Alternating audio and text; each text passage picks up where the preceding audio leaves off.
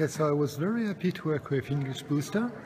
I think it was been a, a great help for me to uh, to improve my presentation, and it's not only about the English skill; it's more about the way you deliver your message.